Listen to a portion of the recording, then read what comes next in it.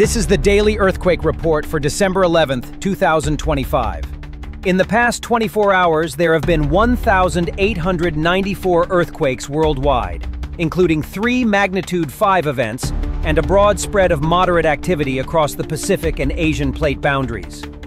The strongest earthquakes today were two separate magnitude 5.1 events, one south of Honshu in Japan and another deep in the Fiji region.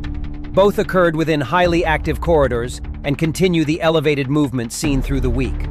A third magnitude 5.1 struck western Xizang, adding to the regional activity across western China and the Himalayan margin.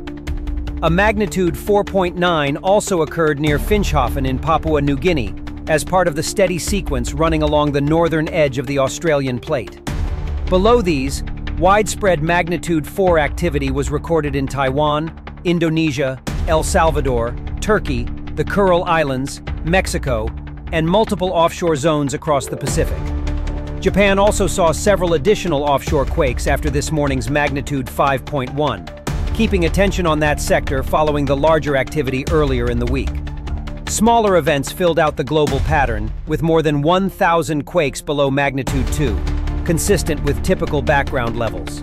Nightwatch goes live tonight on our Facebook page with a real-time global quake display and a licensed Iceland volcano feed. The stream runs in UTC and brings both views together as conditions continue to shift across the region. More updates to follow if anything changes.